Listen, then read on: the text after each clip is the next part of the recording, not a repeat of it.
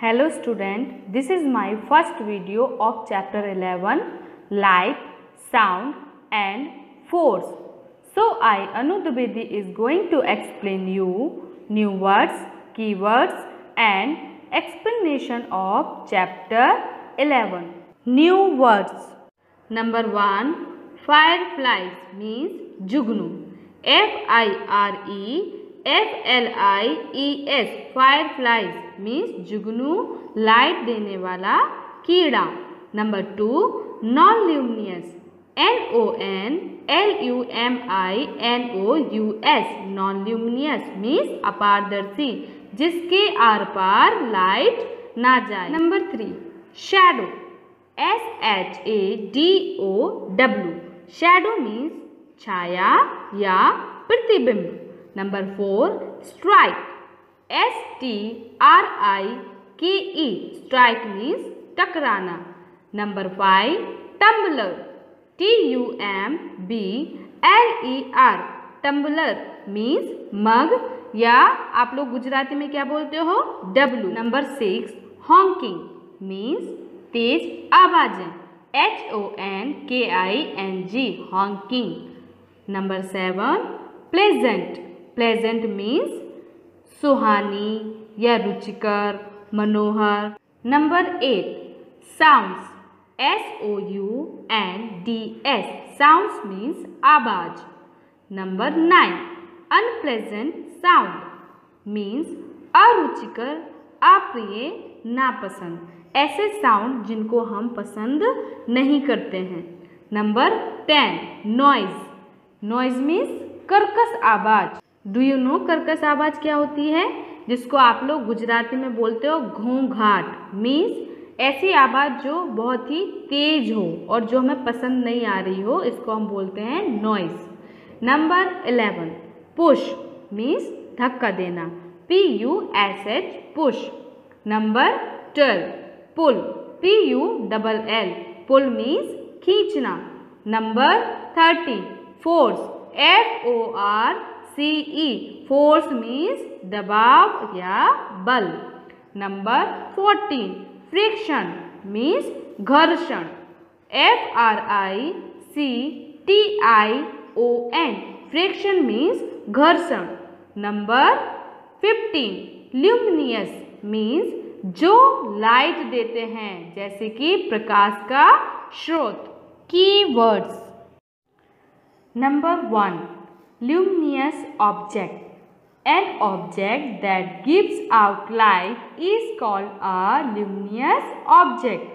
ऐसे ऑब्जेक्ट जो हमें लाइट देते हैं, उनको हम ल्यूमिनियस ऑब्जेक्ट बोलते हैं two luminous object an object that does not give out light is called a non luminous object ऐसे ऑब्जेक्ट जो हमें लाइट नहीं देते हैं, उनको हम नॉन ल्यूमिनियस ऑब्जेक्ट बोलते हैं।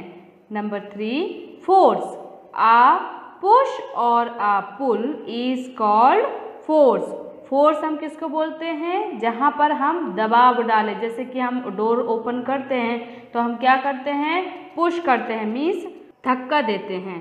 और जब हमें डोर को ओपन करना होता है तो हम उसको पुल करते हैं मीन्स खींचते हैं। तो दोनों में क्या लग रहा है हमारा?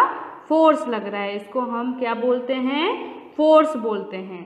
Number four shadow the dark patch form when an object blocks the path of light is called a shadow किसी ऑब्जेक्ट पर पड़ने वाली लाइट अगर ब्लॉक हो जाती है मीन्स वो उस पार नहीं जाती है और वो उधर ही उस ऑब्जेक्ट पर ब्लॉक हो जाती है तो उसके बैक साइड में क्या बनता है? डार्क पैच बनता है, जिसको हम बोलते हैं shadow number five noise loud and unpleasant sound is called noise जो साउंड बहुत लाउड होते हैं और अनप्लेसेंट होते हैं मीन्स सुनने में अच्छे नहीं लगते हैं, उसको हम नॉइस बोलते हैं.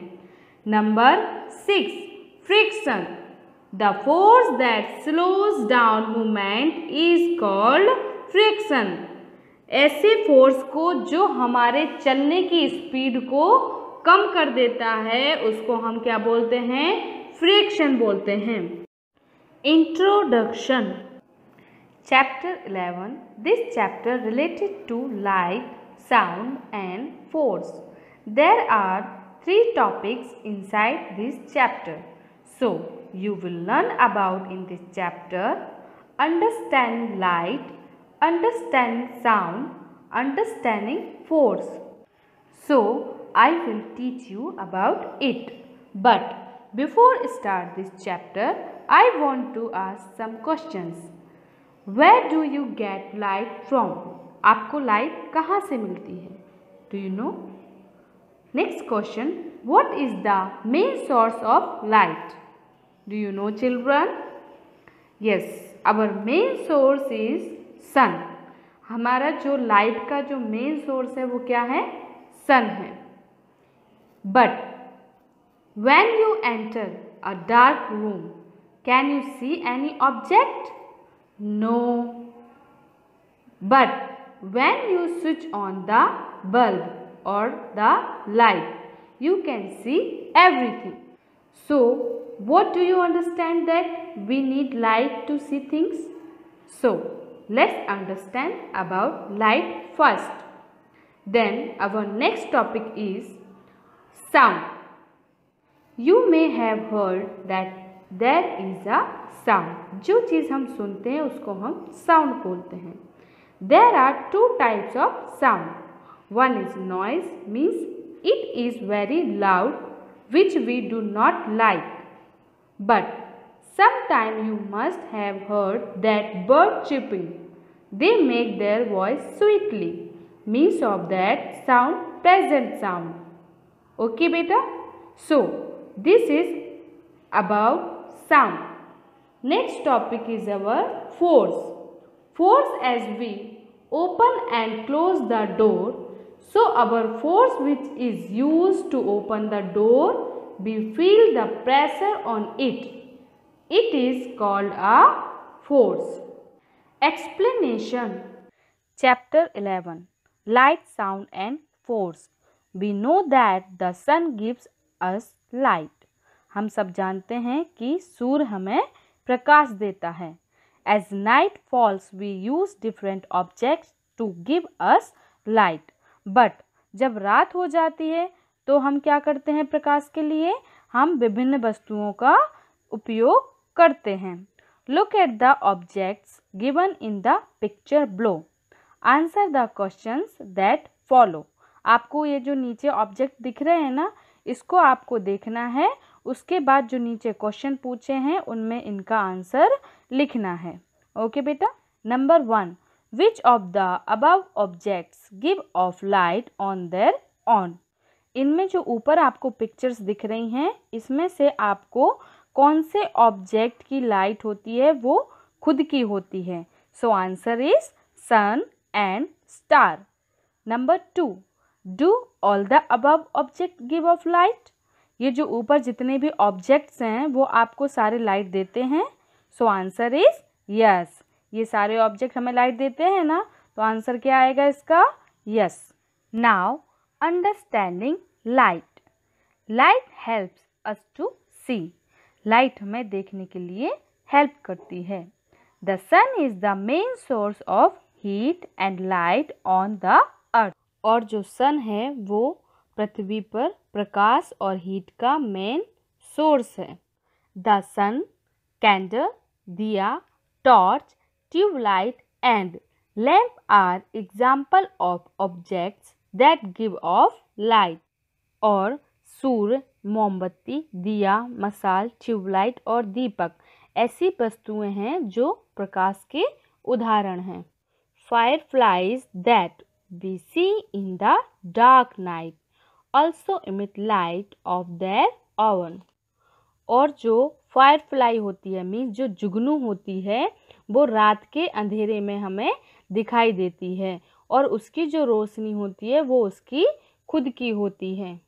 Objects that give out light are called luminous और ऐसे ऑब्जेक्ट जो हमें लाइट देते हैं, उनको हम ल्यूमिनियस बोलते हैं। Do remember however that the moon only reflects the light of the sun और आप एक बात याद रखना कि जो मून होता है, वो क्या करता है? सन की लाइट से रिफ्लेक्ट होता है। जो मून होता है, उसकी खुद की लाइट नहीं होती है। We always see the lit face of the moon और हम चंद्रमा का हमेशा फेस ही देखते हैं।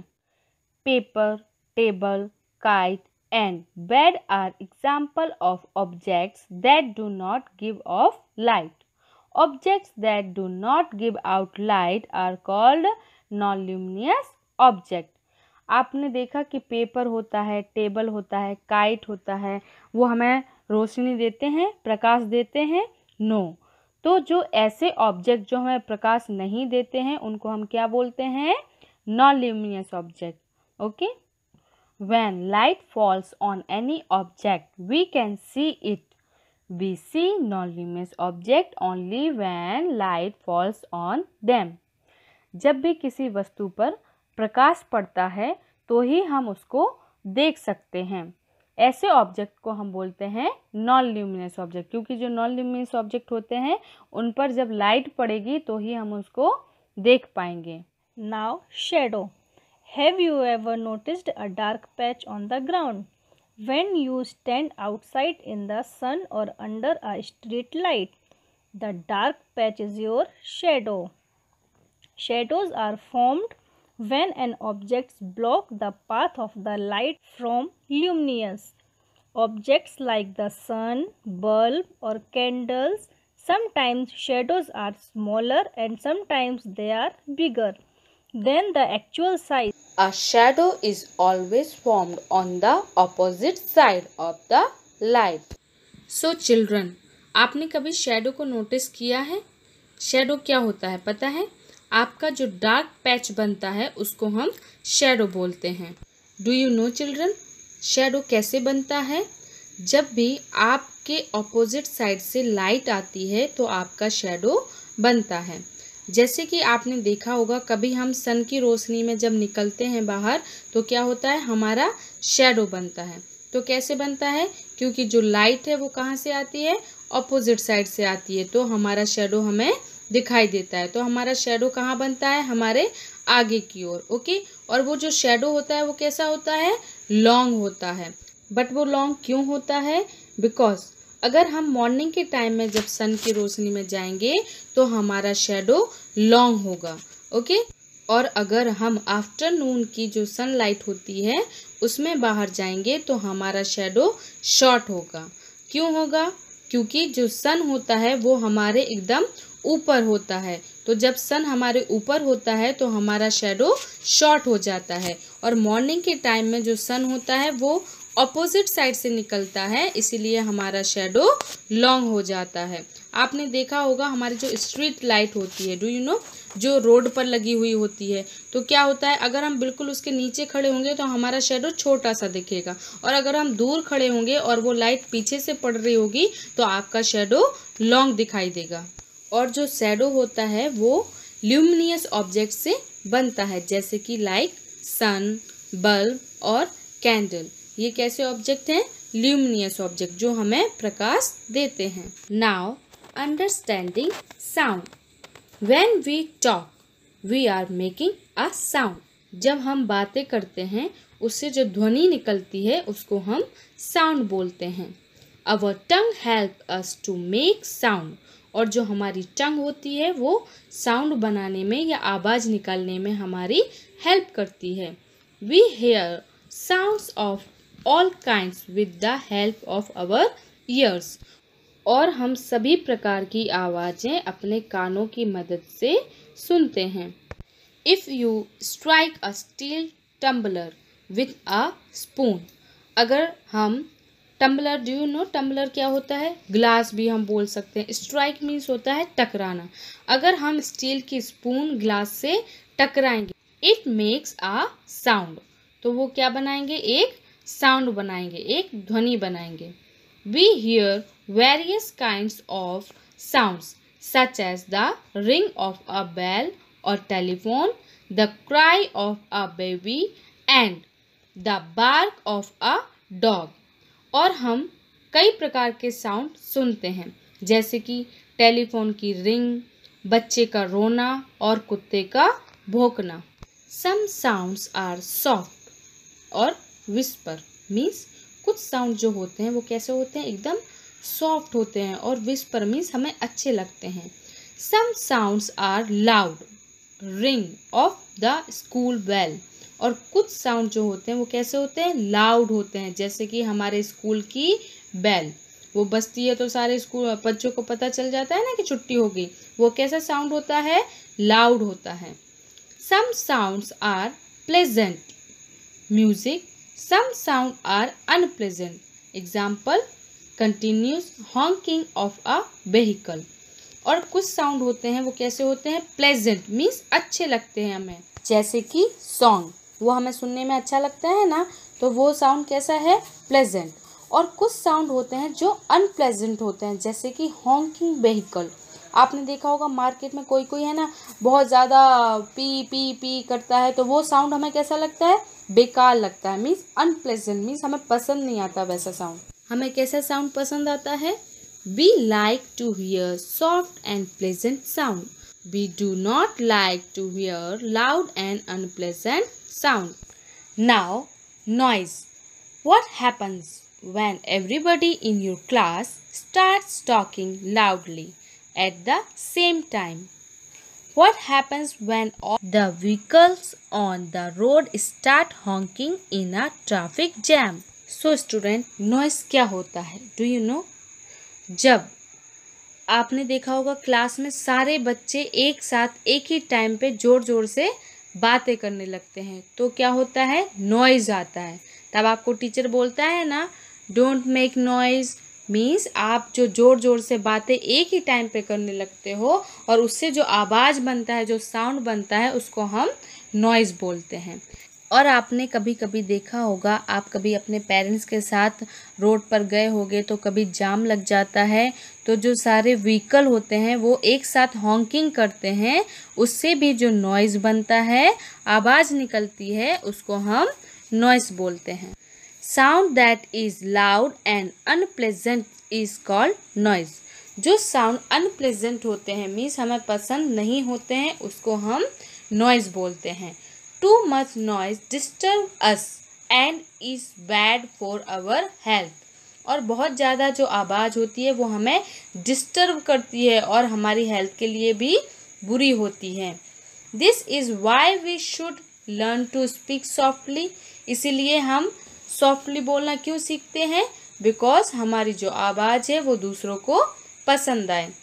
We should always play the television and music system at a low volume हमें हमेशा क्या ध्यान रखना चाहिए? हमारी जो टेलीविज़न है म्यूज़िक है, उसको हमें लो वॉल्यूम पर सुनना चाहिए। That we do not disturb other members of our family और अवर नेबर्स और वो जो वॉल्यूम है, वो इतना रखना चाहिए ताकि हमारे जो दूसरे लोग हैं, उनको भी डिस्टर्ब ना हो, पड़ोसी को भी डिस्टर्ब ना हो और हमारे फैमिली मेंबर्स को भी डिस्टर्ब ना हो. Now understanding force in every day life we push और pull things to move them हम रोज़मर्रा की ज़िंदगी में वस्तुओं को स्थानांतरित करने के लिए पुल और पुश करते हैं.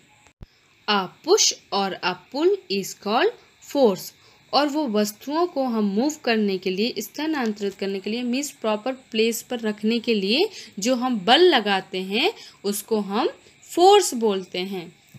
Force helps us to do many things और जो फोर्स होता है, वो हमें बहुत सारी चीज़ें करने में हेल्प करता है। जैसे कि फुटबॉल में किक करने के लिए शेप को चेंज करने के लिए और वस्तुओं को मूव करने के लिए हमें फोर्स की ज़रूरत होती है। लुक एट दीज पिक्चर्स पहली पिक्चर जो है फ़र्स्ट पिक्चर उसमें क्या कर रही है वो girl force can move an object next second force can stop a moving object और जो फोर्स होता है, उसी से हम क्या करते हैं? ऑब्जेक्ट को स्टॉप कर सकते हैं। नेक्स्ट पिक्चर में क्या कर रही है वो? Force can change the shape of object now friction friction is a special force that slow down movements जो फ्रिक्शन होता है, वो क्या करता है? हमारे मूवमेंट को स्लो करता है। किससे? फोर्स से। सो when you push or pull an object to move it the force of the push or pull should be greater than the force of friction so जब हम किसी वस्तु को मूव करने के लिए उसको धक्का देते हैं पुल और पुश करते हैं तो उसमें फोर्स की ज़रूरत होती है। तो जब हम उस पर फोर्स लगाते हैं तो क्या होता है? जो हमारा फोर्स होता है, वो ग्रेटर हो जाता है और जो फ्रिक्शन होता है, वो लेस हो जाता है। When friction is very less things slide when it is more things don't move और जब फ्रिक्शन लेस हो जाता है तो क्या होता है? जो हमारी थिंग्स होती है, वो कैसे हो जाती है? स्लाइडेड हो जाती है, और वो आसानी से स्लाइड हम कर सकते हैं, क्योंकि उसका जो फ्रिक्शन है, वो कैसा हो जाता है? लेस हो जाता है, इसीलिए। और जब फ्रिक्शन ज़्यादा हो जाता है तो जो थिंग्स होती हैं, वो मूव नहीं हो सकती हैं। If there was no friction we would not be able to walk we would keep slipping off so so, student मैं आपको एक एग्ज़ाम्पल देती हूँ फ्रैक्शन को लेकर। आपने देखा होगा जो कार होती है उसका जो व्हील होता है पहिया होता है तो आपने देखा होगा कि वो हम जब भी उसको स्टॉप करते हैं तो वो स्टॉप हो जाता है। तो कैसे हो जाता है स्टॉप बिकॉज़ ऑफ़ फ्रैक्शन अगर वो कार के व्हील में हम फ्रैक्शन नहीं डालते हैं मीन्स घर्षण नहीं डालते हैं तो जो कार का व्हील है वो क्या होगा? कंटिन्यू चलता रहेगा। वो क्या होगा? रुकेगा नहीं। इसीलिए जो घर्षण होता है वो हमारी कोई भी चीज़ को रोकने में हेल्प करती है। जैसे कि हम वॉक करते हैं तो चलते हैं फिर रुक जाते हैं तो उसमें भी क्या लगता है? घर्षण लगता है मीन्स फ्रैक्शन उसी की वजह से क्या होता है? हम अच्छे से चल सकते हैं और रुक सकते हैं। और अगर जहाँ पर फ्रैक्शन नहीं होगा तो क्या होगा? हम स्लिप हो जाएँगे हम स्लिप होकर गिर जाएँगे।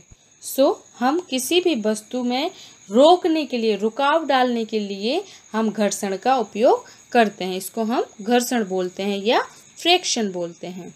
नाव समरी। समरी में हम पढ़ेंगे कि हमने इस चैप्टर में क्या क्या सीखा।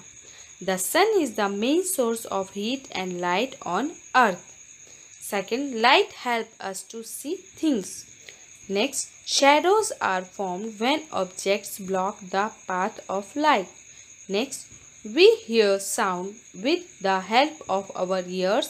Sound can be soft or loud, pleasant and unpleasant. Next, force help us to move objects, stop them and change their shape. Next, friction slows down the movement of object. Here end our chapter 11 light, sound and force. I hope you all understand well this chapter. Thank you.